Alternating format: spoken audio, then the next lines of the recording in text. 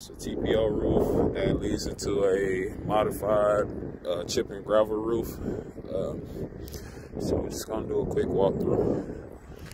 Uh, here where the drains are on this lower part, on the TPO part that's already been laid before, is that uh, here they created a, a well system. And got anybody that knows about roof know what a well is. Uh, basically, they cut the material down seek the drain down in there to where it's lower than the actual roof itself. But in this case, it was uh, properly improperly installed because the actual low point of this roof is here.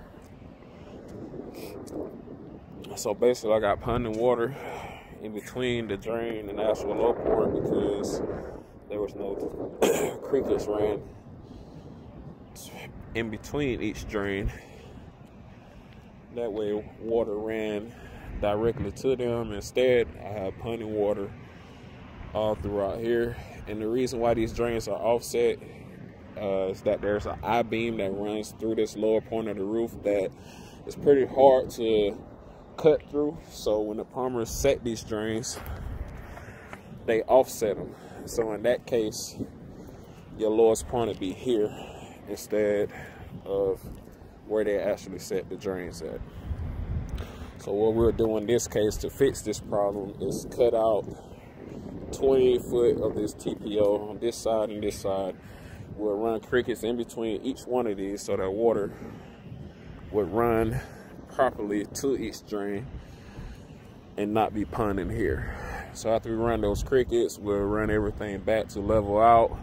That way it maintains its actual taper in the slope uh, this actual taper within the, the normal deck in itself. Uh, it's a couple other things on this roof. I mean, it's a couple patches that are lifting up. Uh, they have leaking around the skylight over here. Uh, I didn't see anything as far as the membrane go that could be causing a leak. It could be something to do with the windows. Um, and things like that, which they have four areas of these drains, which we'll have to do the same cricket system that I'm talking about in between each one of these sections. so going over to this gravel roof that we have here, basically what they did was just ran the material over the suspension joint. Suspension joint is where two buildings meet together and you put that expansion joint across there so the buildings can move simultaneously without causing a problem.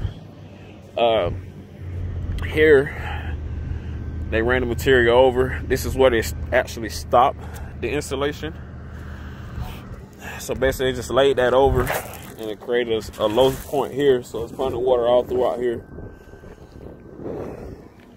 And they did not tie this into this gravel roof at all. They just laid it over. So you get enough water there. I'm pretty sure it's backing up up under there, probably up until about here. So basically what we're doing when we do this roof, we'll end up laying our material all the way up to where they actually stop their material, which was in here. So we'll cut this five foot out and run new material from that point all the way across. Same thing here. All these drains are offset a bit. So we run the cricket system in between each one. So any type of water that is supposed to be sloping to the drains would definitely go in the direction that they're supposed to. Uh, there's an expansion joint here. So we're running new expansion joint, flash that pipe in that's attached to the expansion joint. You know, basically everything that needs to be done will be done properly. All these units, these boxes, these curbs, everything will be wrapped properly, corners wrapped, uh, pitch pockets, everything will be done. Uh, I'll make up a diagram showing exactly what a cricket is and how we will lay this field to better be equipped to stop any water from getting into this